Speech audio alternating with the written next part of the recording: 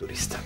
Poznato je da su 70. i 80. godina našu zemlju posjećivali brojni gosti, to su bili između osnovnog upravo Njemci u posljednje vrijeme. Ovaj dio Crnogorskog primorja vraća svoj stari sjaj.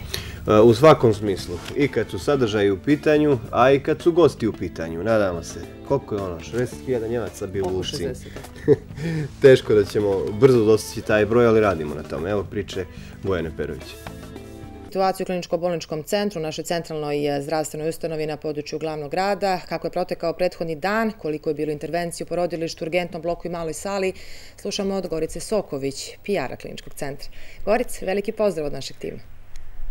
Pozdrav za vas u studiju i za vaše gledalce na ovom detaljnom izvještaju, a da provjerimo kakvo je trenutno stanje na magistralnim regionalnim putevima, da li možda na graničnim prelazima ima gužvi. Više o tome u uključenju Vladane Bojović iz Automotosaveza.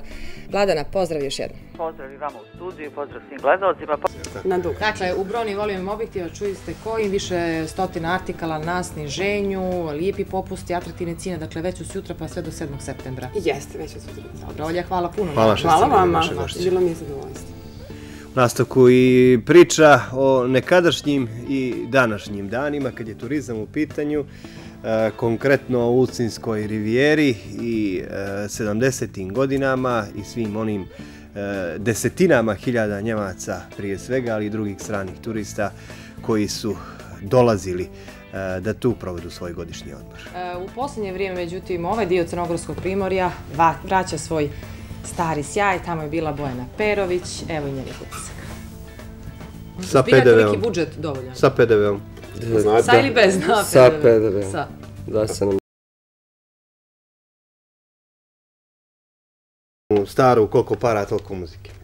Hvala. to je, ne važi. Hvala. Evo, 9 sati 29 minuta, došli smo do samog kraja današnjeg druženja. Od mene i Danila za ovu radu sedmicu toliko. Dosta. Sjutra vaš domaćin bit će Nemanja Pavićević, a, toko vikenda ćete, nadam se, i vi uživati u posljednjem segmentu onog mini serijala Jutarnji iz gradova.